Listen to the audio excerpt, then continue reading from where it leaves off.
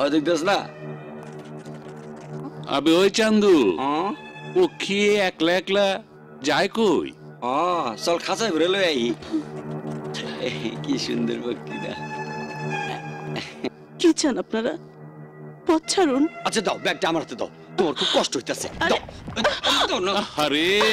রিক্সা গাড়ি কিচ্ছু পাই নাই। ওই তোরা পক্ষীর একটু লিপ দে। আরে ছাড়ুন বলছি।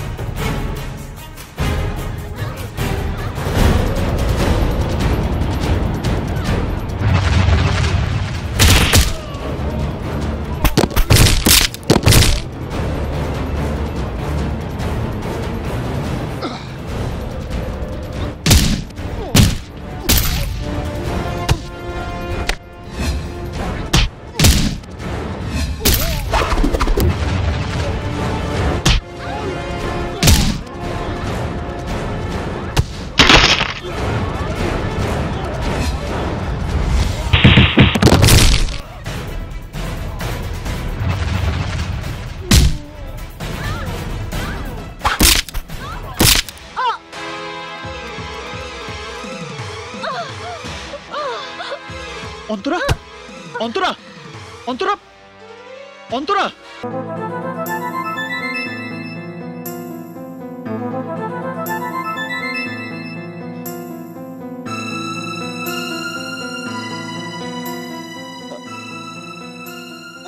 আরে আরে, উঠছেন কেন?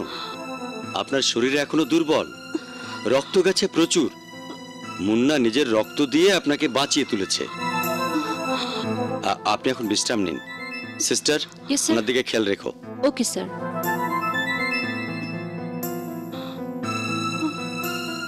মেয়েটি আমাকে প্রচণ্ড ঘৃণা করে ডাক্তার সাহেব।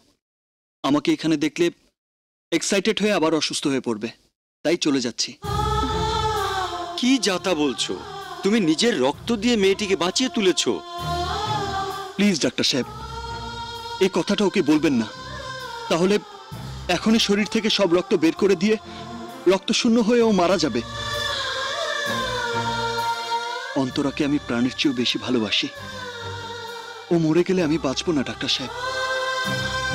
আমি এখন আসি ডাক্তার সাহেব। আসসালামু আলাইকুম। ওয়ালাইকুম আসসালাম।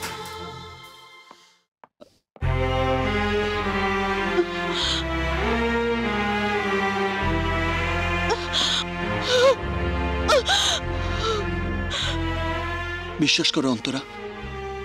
রক্তাক্ত অবস্থায় তুমি সেন্সলেস হয়ে পড়েছিলে। তাই তোমাকে এখানে নিয়ে এসেছিলাম। না হলে আমি তো জানি, আমি একটা খুনি, জেলখাটা আসামি।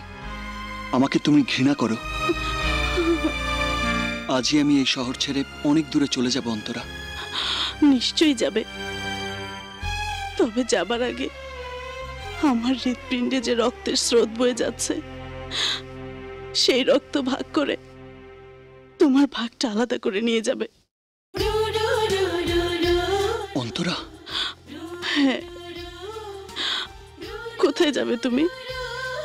তোমার রক্তের মতো তুমিও যে আমার আত্মার সঙ্গে মিশে গেছো। বলো আমাকে ফেলে তুমি কখনো চলে যাবে না? বলো যাবে না? যাব না অন্তরা। কখনো যাব না।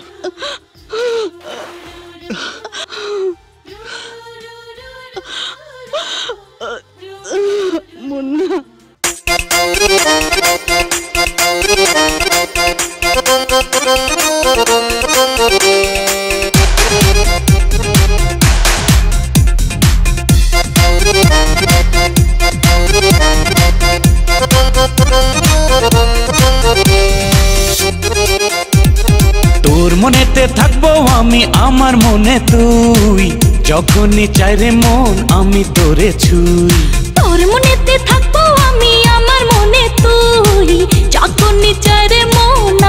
তোরে ছুই পরশে পরশে রব দুজনা। জীবনে মরণে দূরে যাব না। তোর সঙ্গে জেগে রব ঘুমায় সঙ্গী হব। তোর সঙ্গে জেগে রব ঘুমায় সঙ্গী হব। তোর মনেতে থাকব আমি আমার মনে তুই। যখনই চাই রে মন আমি তোরে ছুই।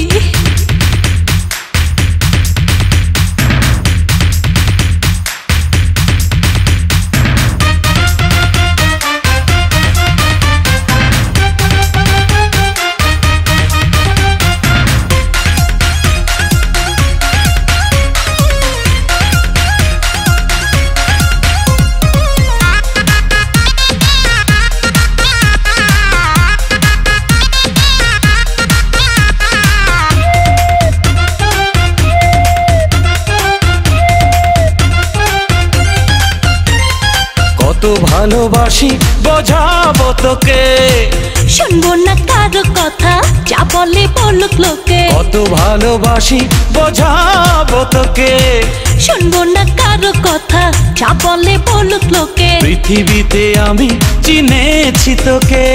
হৃদয়ের দামে কিনেছি তোকে। পরশে পরশে রব দুজনা। জীবনে মরণে দূরে যাব না। তোর সঙ্গে জেগে রব ঘুমায় সঙ্গী হব। তোর সঙ্গে জেগে রব ঘুমায় সঙ্গী হব। তোর মনেতে থাকব আমি আমার মনে তুই। যখনই চাই রে মন আমি তোরে চুই হয়।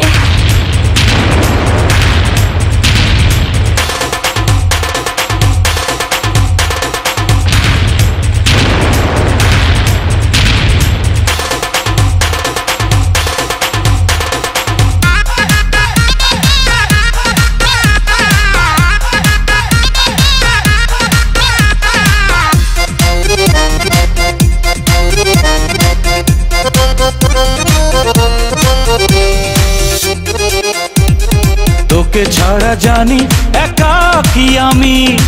জানি রে সবই জানি করিস না পাগলামি। তোকে ছাড়া জানি একাকি আমি? জানি রে সবই জানি করিস না পাগলামি। ভালোবাসা ছাড়া যাব রে মোরে। দুটি হাতে নে না জড়িয়ে ধরে। পরশে পরশে রব দুজনা। জীবনে মরণে দূরে যাব না। তোর সঙ্গে জেগে রব ঘুমায় সঙ্গী হব। তোর সঙ্গে জেগে রব ঘুমায় সঙ্গী হব। তোর মনেতে থাকব আমি আমার মনে তুই। যখনই চাই রে মন আমি তোরে ছুই। পরশে পরশে রব দুজনা। জীবনে মরণে দূরে যাব না। তোর সঙ্গে জেগে রব ঘুমায় সঙ্গী হব। তোর সঙ্গে জেগে রব ঘুমায় সঙ্গী হব। তোর মনেতে থাকব আমি আমার মনে তুই। যখনই চাই রে মন আমি তোরে ছুই। বলুন আপনাদের কার কি সমস্যা? ফরিদ নামের একজন অ্যাপার্টমেন্ট বিজনেসম্যান। আমাদের কাছ থেকে কোটি কোটি টাকা নিয়ে এখন ফ্ল্যাট বুঝিয়ে না দিয়ে তালবাহানা করছে। আচ্ছা ফ্ল্যাট ক্রয়ের সব কাগজপত্র আপনাদের আছে? আছে। আমরা আইনের আশ্রয় নেব বললেই সে গুন্ডার ভয় দেখিয়ে বলে আমাদের লাশ ফেলে দেবে। হুম? তার সাথে নাকি ক্ষমতাবান লোক আছে। ডোন্ট ওরি আপনারা কোনো চিন্তা করবেন না। ফরিদকে চব্বিশ ঘণ্টার মধ্যে লকআপে ঢুকিয়ে দেওয়ার ব্যবস্থা করছি। তারপর আমি দেখব ওর পেছনে কোন ক্ষমতাবান লোক আছে। আরে ছাড়ুন। হ্যান্ডকাপ লাগাও। তুই নাকি এই শহরের সবচেয়ে বড় ক্ষমতাবান? তাহলে আমার স্বামীকে পুলিশে অ্যারেস্ট করল কীভাবে? বল ভাইয়া বল। মিনা প্লিজ শান্ত হ। শান্ত হ পাগলামি করবি না। হবার জন্য ওরা আমাকে ব্ল্যাকমেল করেছে। আরজু তুমি যে আমাদের সঙ্গে ব্ল্যাকমেল করছ না তার কি প্রমাণ আছে? বিশ্বাস করুন স্যার ওই টেলিফোনটা ক্রিমিনাল পাশা অথবা তার কোনো লোক করেছিল। যারা অতর্কিত হামলা চালিয়ে আমার কাছ থেকে ফরিদকে ছিনিয়ে নিয়ে গেছে। ইন্সপেক্টর আরজু আইন মুখের কথা বিশ্বাস করে না। তুমি যে নির্দোষ তা তোমাকে প্রমাণ করতে হবে। আমাকে বাহাত্তর ঘণ্টা সময় দিন স্যার। আমি এই বাহাত্তর ঘণ্টার মধ্যে ফরিদকে গ্রেপ্তার করে প্রমাণ করব। আমি নির্দোষ। মনে রেখো বাহাত্তর ঘণ্টার মধ্যে আসামি ফরিদকে গ্রেপ্তার করতে ব্যর্থ হলে তোমার বিরুদ্ধে আইনগত ব্যবস্থা গ্রহণ করতে আমি বাধ্য হব। Okay yes sir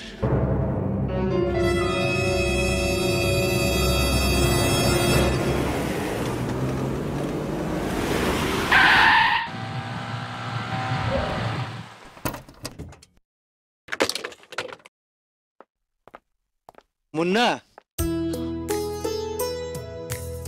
Arzu তুই এখানে? আমি তো বিশ্বাস করতে পারছি না। অন্তরা! অন্তরা! আরে আরে এত ব্যস্ত আছিস কেন মুন্না? মানে বিয়ে আর বলতে হবে না। এখানে আপনাকে দেখেই বুঝতে পেরেছি মুন্নার ব্যাপারে আপনাদের সব ভুল ভেঙে গেছে। নিশ্চয়ই মুন্নাকে নিতে এসেছেন তাই না? রাইট মুন্না চাকরিতে আমার প্রমোশন হয়েছে। সেই জন্য তোদের সবাইকে দাওয়াত দিতে এসেছি। শোন কাল সন্ধ্যায় সবাইকে নিয়ে তুই সোজা আমাদের বাড়িতে চলে আসবি কেমন? নিশ্চয়ই যাব। আসি মুন্না। সে কি? আজ প্রথম আমার এখানে এসেছিস। খালি মুখে তোকে যেতে দেব না। রতন বল। আজ নয় মুন্না আর একদিন অফিসে আমার ডিউটি চলছে। আসি ভালো থাকিস। আচ্ছা। আমি বলেছিলাম না মুন্না? তোমার বাড়ির সবাই একদিন না একদিন তোমাকে আবার আপন করে নেবে?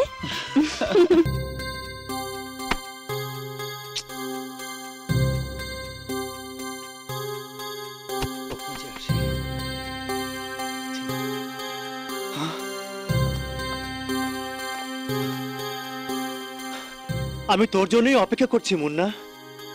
এখানে কেন? ভেতরে চল। আয়। না। আগে তোর সঙ্গে আমার জরুরি কিছু কথা আছে।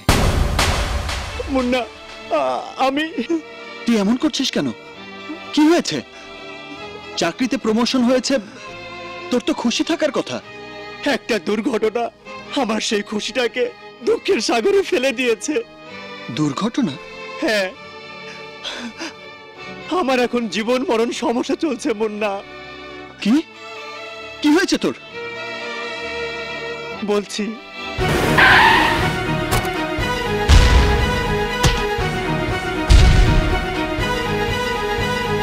মুন্না ভাই আমার এই বিপদ থেকে একমাত্র তুই পারিস আমাকে উদ্ধার করতে। আমি? আমি আইনের লোক। আইনের শিকলে আমার হাত পা বাঁধা। অনেক সময় আইন যা পারে না, গুন্ডারা তা পারে। তুই তো একটা গুন্ডা। যত টাকা চাস আমি তোকে দেব।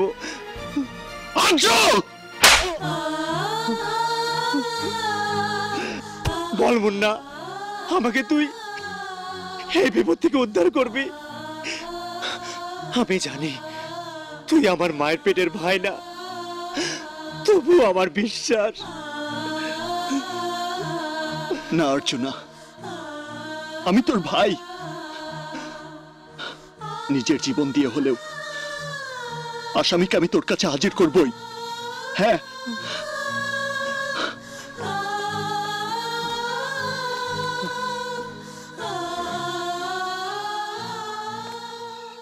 কি ব্যাপার? মুন্না ভিতরে না গিয়ে এখান থেকে চলে গেল? বাবা আমার প্রমোশনের খবর পেয়ে দোয়া করতে এসেছিল।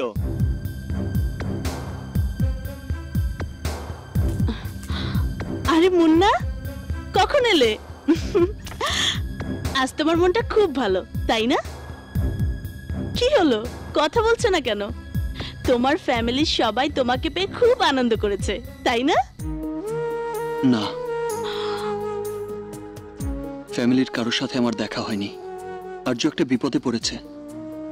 তাই বিপদ থেকে উদ্ধার হওয়ার জন্য আমার সাহায্য চেয়েছে। কি বিপদ? আর্য ডিউটিতে থাকা অবস্থায় পাশা তার বনজামাইকে রাস্তা থেকে বোমা মেরে তুলে নিয়ে গেছে। তাই পুলিশ কমিশনার অর্ডার করেছে। বাহাত্তর ঘণ্টার মধ্যে পাশার বনজামাইকে পুলিশ কাস্টডিতে হাজির করতে। না হলে আর্যর চাকরি যাবে জেল হবে। আর্য ফোর্স নিয়ে উদ্ধার করলেই তো পারে। আর যে উদ্ধার করব। কি কয় না কয়? আর যে উল্টা মুন্নারে কইছে অনেক সময় আইন যা পারে না গুন্ডারা তা পারে। মুন্না নাকি একজন গুন্ডা। তাই গুন্ডামি কইরা পাশার বঞ্জা মাইরে ধরে আনতে পেরেছে তুমি যাবে না। অন্তরা হাজার হোক ও আমার ভাই তাছাড়া যে মায়ের জন্য আমি পৃথিবীর সবকিছু ওলট পালট করে দিতে পারি আর্য তো তারই সন্তান তাই তোমাকে অনুরোধ করছি তুমি বাধা দিও না। আমি বাহাত্তর ঘণ্টার মধ্যেই পাশার বনজামাইকে পুলিশ কাস্টডিতে হাজির করব। কি বললি? আমার ভগ্নিপতির বিরুদ্ধে আবার তুই ওকালতি করবি? আজ থেকে ইহলোকে তুই আর ওকালতি করতে পারবি না। যা, পরলোকে গিয়ে কর।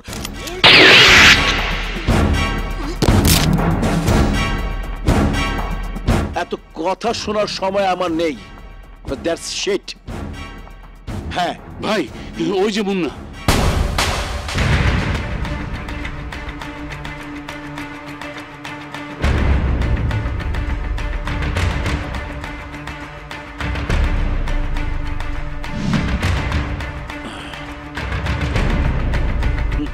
আমি জানতাম এই শহরে থাকতে হলে একদিন তুই আমার কাছে ক্ষমা চাইতে আসবি।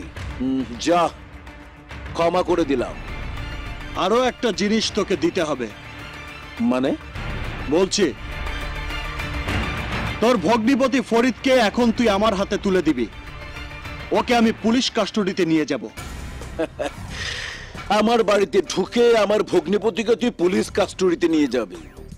তোর এতই ক্ষমতা। ক্ষমতার কিছুই এখনও দেখিসনি। সেদিন রাস্তায় তোর লোকদের যা দেখিয়েছি, সেটা আমার ক্ষমতার ওয়ান পার্সেন্ট আর খুনি ফরিদকে আমার হাতে তুলে না দিলে দেখবি ক্ষমতার hundred percent high voltage four forty মারবো এখানে আর লাশ পড়বে দশ মাইল দূরে। এই, আমার ফ্যামিলি মেটার নিয়ে তুই আর একটা শব্দ উচ্চারণ করলে জান নিয়ে তুই ফেরত যেতে পারবি না। এটা তোর ফ্যামিলি ম্যাটার না, আমার ফ্যামিলি ম্যাটার তোর খুনি ভগ্নিপতিকে আইনের হাতে ধরিয়ে দেবার উপর নির্ভর করছে আমার পুলিশ ভাইয়ের মান সম্মান ভবিষ্যৎ। ওকে এখন আমার হাতে তুলে না দিলে করে দেব।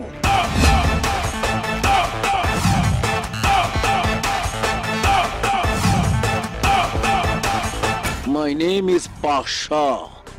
My brain is very kasha.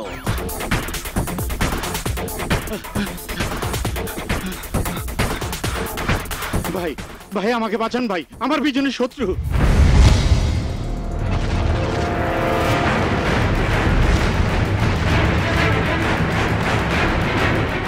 আমাকে যেতে দাও ভাই ফরিদ কোথায় বল ফরিদের কথা বললে পাশার শিকদার আমাকে মেরে ফেলবে। ফরিদের কথা না বললে আমি তোরে বেড়াচ্ছে। ইন্সপেক্টর আরজুর বিরুদ্ধে আদালতের রায় ঘোষণা হলেই বেরিয়ে আসবে। অ্যাম্বুলেন্স। Order order order. মহামান্য আদালত এই হলো আসামি আরজুর রহমান মল্লিক যে ঘুষের বিনিময়ে একজন খুনি আসামিকে ছেড়ে দিয়ে ছিনতাইয়ের নাটক সাজিয়েছিল। একজন পুলিশ কর্মকর্তার এরকম কর্মকাণ্ড শুধু সরকারকে নয় সমাজকেও পর্যন্ত। কি হলো ব্রেক করলে কেন? স্যার সামনে বিপদ। ব্যাক গিয়ার মার। আবার কি হলো? স্যার পিছনেও বিপদ।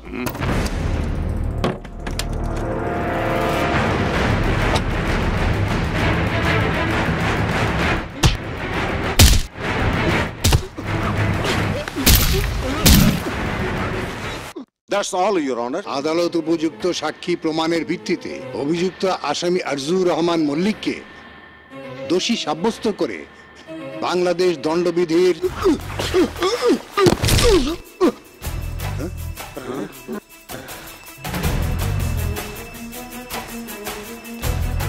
মহামান্য আদালত আমি প্রথমেই এইভাবে আদালতে প্রবেশ করার জন্য ক্ষমা প্রার্থনা করছি। মহামান্য আদালত, আমি যদি সত্যিকারের আসামিকে আপনার আদালতে উপস্থিত করতে এক মিনিট দেরি করতাম, তাহলে একজন নিরপরাধ পুলিশ অফিসারের কঠিন শাস্তি হয়ে যেত। যে শাস্তি ইন্সপেক্টর আরজুর রহমান মল্লিকের পাওনা ছিল না। মহামান্য আদালত, এই হলো সেই আসামি ফরিদ, যাকে ইন্সপেক্টর আরজুর কাছ থেকে ছিনিয়ে নেবার জন্য মিথ্যে নাটক সাজিয়ে হামলা চালানো হয়েছিল। এবং ওই হামলায় তিনজন পুলিশেরও মৃত্যু হয়েছিল। মহামান্য আদালত, আমি আসামিকে আপনার আদালতে হাজির করে দিয়েছি। এখন শাস্তি দেবার মালিক আপনি। আসামি ফরিদকে গ্রেফতার করার জন্য আমি পুলিশ বাহিনীকে আদেশ দিচ্ছি। একই সাথে বাহাত্তর ঘণ্টার জন্য এই আদালত মুলতবি ঘোষণা করছি। ভাইয়া ভাইয়া রে আমার কি হয়ে গেল?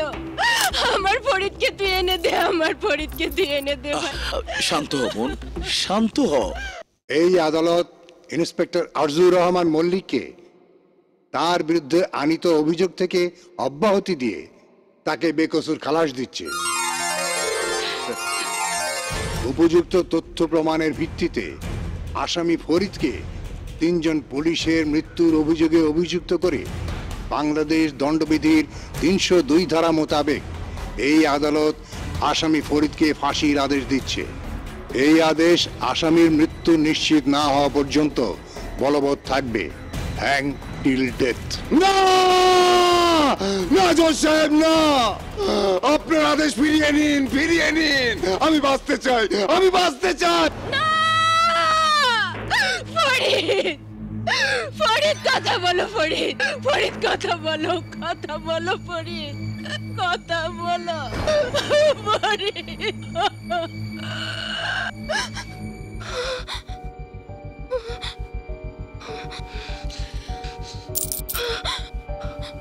তোর ক্ষমতা শেষ। তোর ক্ষমতা শেষ। তোর ক্ষমতা শেষ। ওকে উপরে নিয়ে যা। Don't touch! Don't touch! Get out! আজ তোর কারণে আমি স্বামী হারিয়েছি আমি বিধবা হয়ে গেছি আমি বিধবা হয়ে গেছি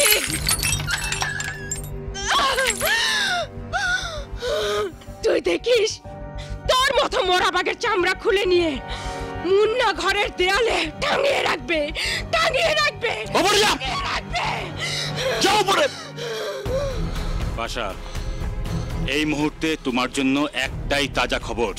আগামী পরশু মুন্নার বোনের বিয়ে। মুন্নার বোনের বিয়ে? তোর বিয়ে? কবে? কখন? আর মাত্র একদিন পর। মানে আগামী পরশু। অন্তরা শুনেছ? আমার বোনের বিয়ে হবে। সারাই বাঁচবে। শোন ভাইয়া তুই যদি আমার বিয়ের দিন এসে সব অনুষ্ঠানের দায়িত্ব না নিস আর অন্তরাপু যদি আমাকে বধূ সাজিয়ে না দেয় তাহলে এ বিয়ে আমি করবই না। আমাদের লক্ষ্মী বোনের বিয়েতে আমি আর মুন্না কি না যেতে পারি? তুমি দেখো সেদিন তোমাকে আমি নিজের হাতে সাজিয়ে দিব। আসসালামু আলাইকুম আঙ্কেল আসসালামু ওয়ালাইকুম আসসালাম। আসসালামু আলাইকুম। আসসালাম। মেয়েটাকে সাজানো হলো কিনা দেখো। বিয়ের পর্বটা শেষ করতে হবে না? ঠিক আছে আমি দেখছি। বসো। বসুন প্লিজ আর দেরি কেন? না না আর দেরি না। বিয়ের কাজ শুরু করুন কাজী সাহেব। এই ছেলার!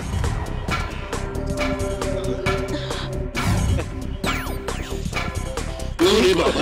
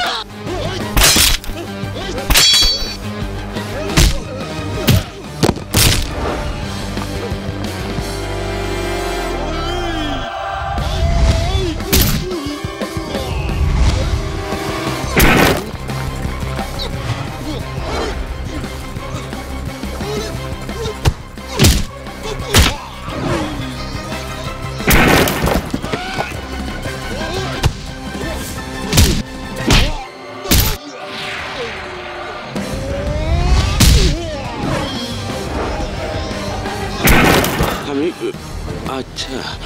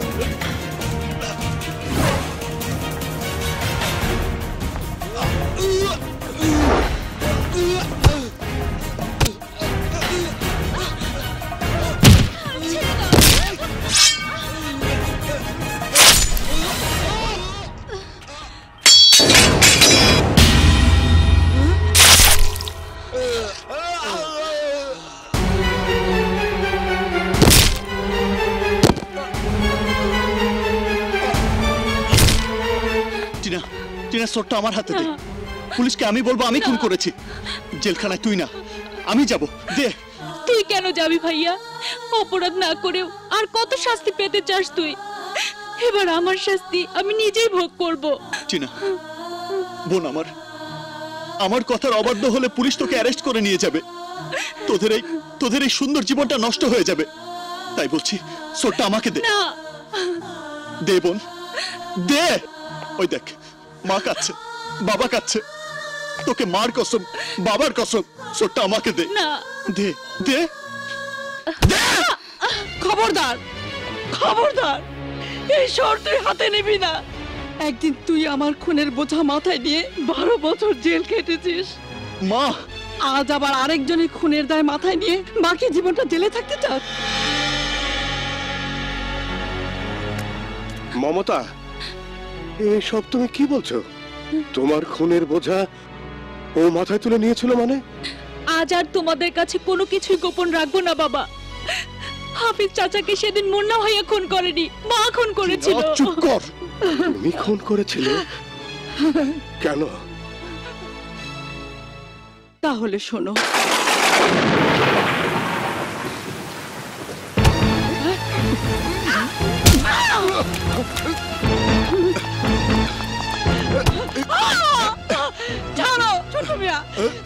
আর সেই জন্যই মাকে আমি আদালতের কাঠ করায় নিয়ে দাঁড় করাতে দেইনি, বাবা।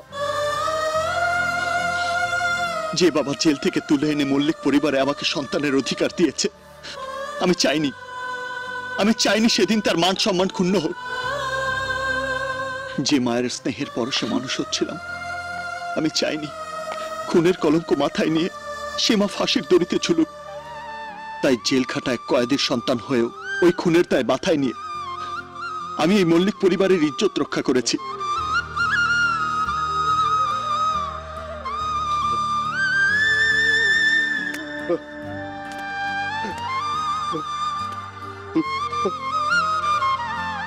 তুই সত্যি করে বলতো আসলেই তুই কে? আমি তোমাদের সন্তান। তোমরা একবার বলো না আর্যুর মতো আমিও তোমাদের সন্তান। বলো না বাবা। বলো না আমিও তোমাদের সন্তান। না বাবা আমার। আমি তোমাদের সন্তান বাবা।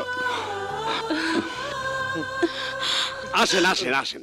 হ্যাঁ, আসেন ইন্সপেক্টর এসো। আসেন। এই দেখ হ্যাঁ। Sentry sir. আহতগুলোকে অ্যারেস্ট করো। আর লাশ মর্গে নেওয়ার ব্যবস্থা করো। যাও। Okay sir. হয়। এটা আমি কি করলাম? ইউ আর আন্ডার অ্যারেস্ট এই হ্যান্ডকাপ লাগাও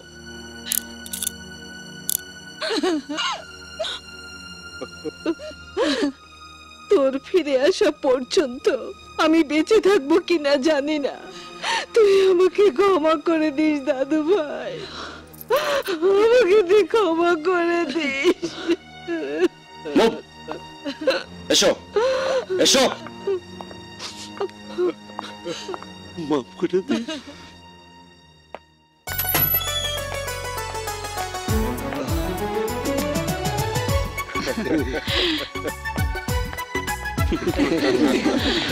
মুন্না